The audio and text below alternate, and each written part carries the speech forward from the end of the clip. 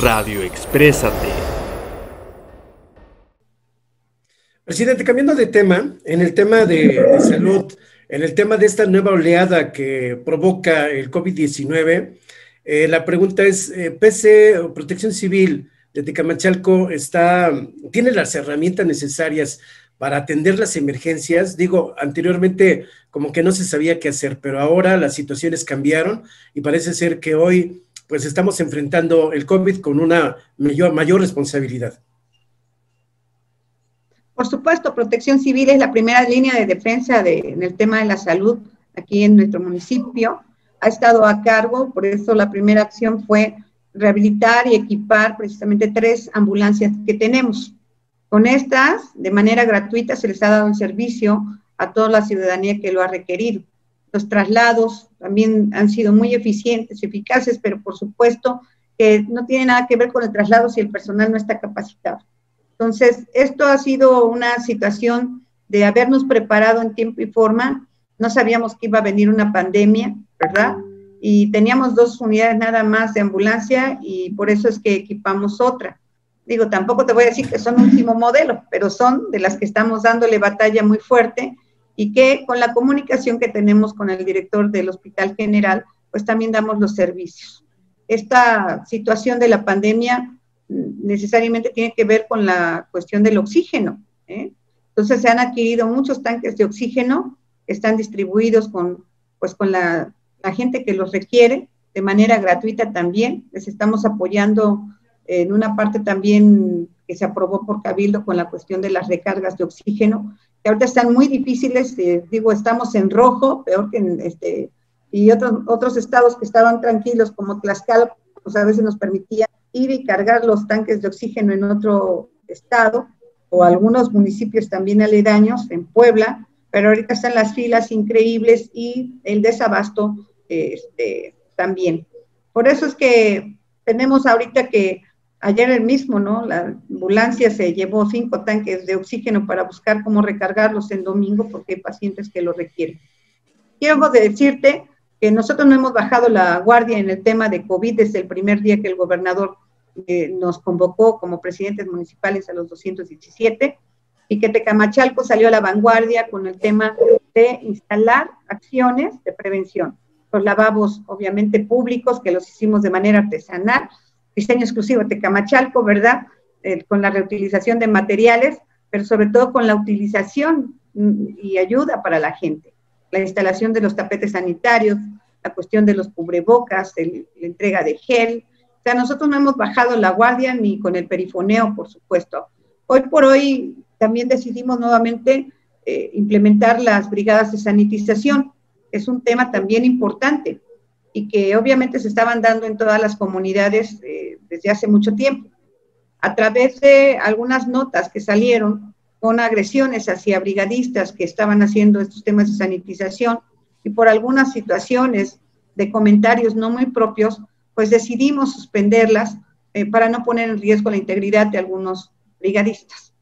Esta gente nos ha ayudado de todas las comunidades, digo, tengo esta, esta pandemia, dicen, sacan los tiempos de crisis sacan lo mejor o lo peor del ser humano.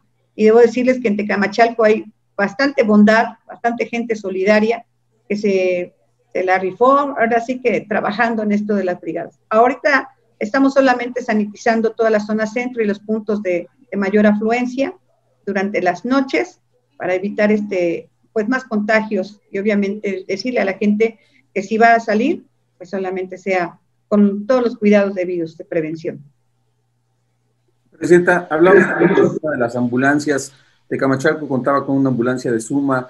Eh, tengo entendido que no solamente atendía al municipio de Tecamachalco y obviamente esto se debía a un convenio eh, que donde creo que eh, también nada más quien asumía el costo era precisamente el municipio de Tecamachalco.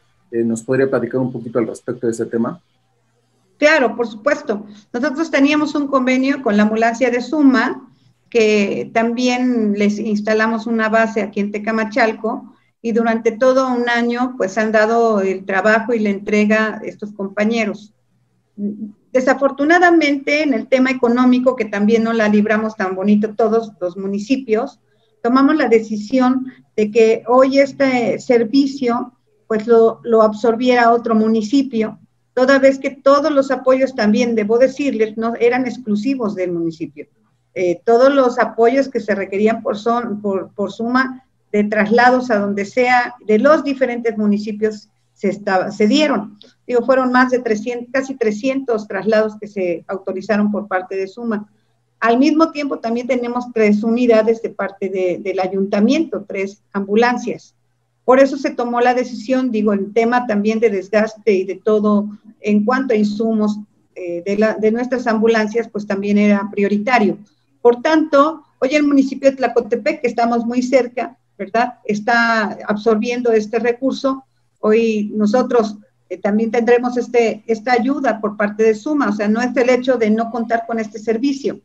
Eh, Suma va a darlo igual que lo estábamos dando nosotros, solamente que ahora la base está en Tlacotepec y obviamente como nosotros estratégicamente tenemos más ambulancias, pues también podemos hacer el círculo ganar-ganar al descentralizar este servicio aquí en Tlacotepec.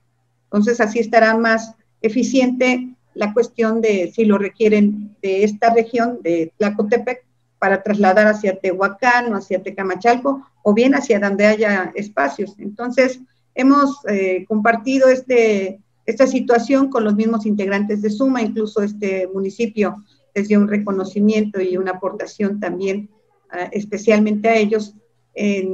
Digo, no tiene precio todo lo que están haciendo este equipo. Entonces, es así como se tomó la decisión y es ganar, ganar.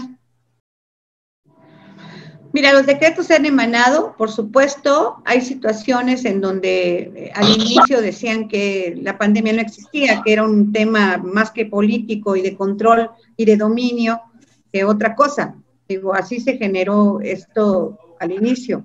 Hoy ya la gente sabe que esto es una realidad, que tenemos fallecimientos de familiares, de amigos alrededor, que hay muchas notas este, en, todos los medios de comunicación, en redes sociales, en televisión, en radio, a través de ustedes también. Entonces, esto es una constante. Incluso el perifoneo y la utilización de nuestras patrullas, que también a través de su altoparlante también eh, exhortan a la ciudadanía a tomar las medidas preventivas y acatar las disposiciones.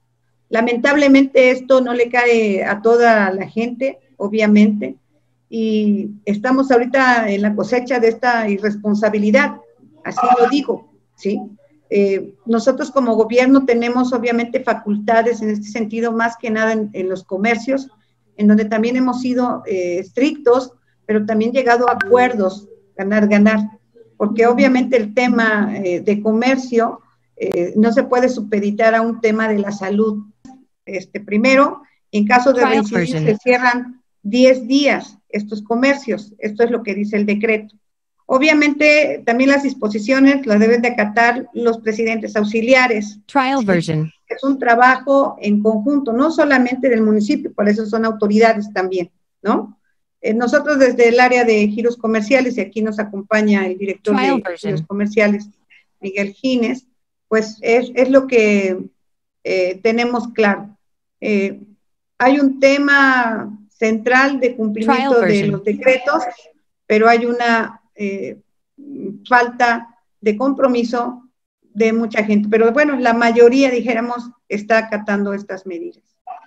En cuanto a las fiestas, había este, Juan Carlos, nosotros no podemos llegar eh, y exhortarlos a partir de protección civil, ¿sí? Eh, se han suspendido muchas de ellas, eh, algunas argumentan, son familiares, son cerradas y todo.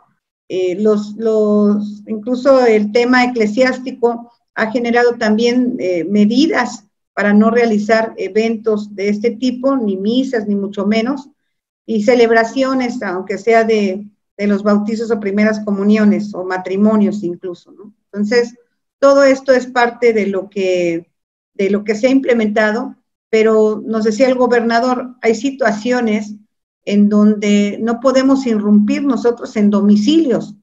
Basta hacerlos saber, también exhortarles, porque entonces también eh, rompemos este, esta situación. Digo, quisiéramos que los que salen las fiestas, al salir de ellas, firmaran un documento en donde les digan que si necesitan hospital, pues ya no lo requieran, ¿verdad?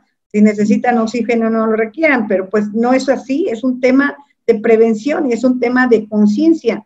Y además hoy también la gente hasta la que más se cuida, pues ni siquiera se este, sabe por dónde llega este virus, ¿no? Entonces no podemos nosotros ser pragmáticos en esto, pero sí eh, en un tema de despertar de conciencia. La ciudadanía tiene que asumir su, su papel y la mayoría lo está haciendo de manera responsable. En el 100%, 100%, es más, está rebasado. Me decía el doctor Navarro que tenían hasta pacientes en sillas de ruedas. Hace la semana pasada específicamente, este, hasta en domingo se construyó un, un cancel para poder ampliar tres camas más en el área de COVID, a iniciativa del doctor, quien está haciendo su mayor esfuerzo junto con el personal. Entonces, procuramos nosotros que, se tengan las mejores condiciones, pero sin embargo estamos rebasados. La cosecha de los días de Navidad, del Año Nuevo, pues ya se están aquí dando con este brote que ya se esperaba, que ya se esperaba. Presidenta, Presidenta, eh, pues ahorita el tema central prácticamente es el COVID-19. En el tema de los comerciantes, eh, ¿Hay algún apoyo a aquellos que están respetando los decretos del gobernador del estado, eh, el apoyo del ayuntamiento, eh, o hay, este, hay algún fortalecimiento que se está dando a los comerciantes establecidos?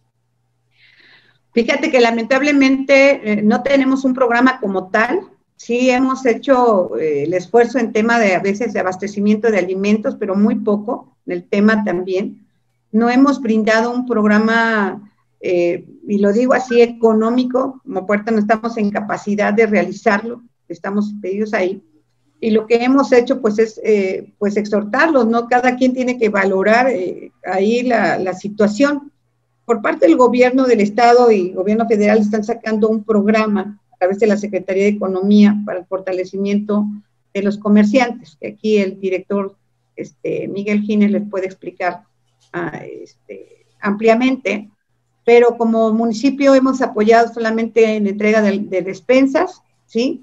Distribución de algunos insumos nada más, pero un programa económico como tal no lo tenemos. Yo creo que por eso es que hoy la alianza con el gobierno del estado viene a fortalecer esta debilidad que tenemos la gran mayoría de los municipios.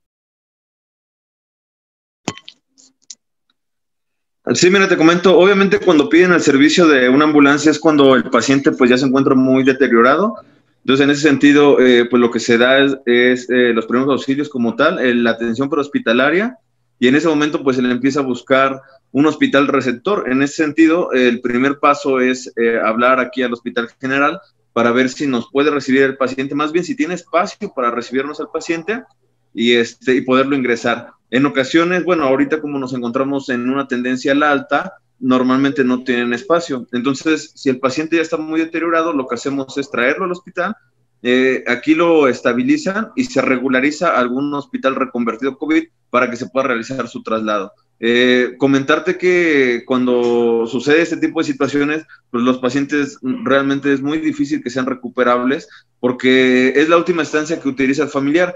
Mm, cuando el paciente definitivamente empieza a bajar su saturación de oxígeno, entonces es cuando entran en, pánico y es cuando toman la decisión de internarlo a un hospital precisamente para que pueda ser intubado.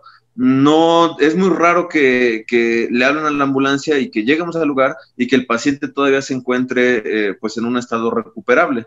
Como se confían los, familiares, dice, bueno, pues va evolucionando bien, no hay necesidad de internarlo, entonces no llaman al servicio de emergencia. Cuando llegan a hablar al servicio de emergencia es porque definitivamente paciente se está deprimiendo y en ese sentido pues ya en ocasiones o en la mayoría de las veces pues ya es muy muy tarde.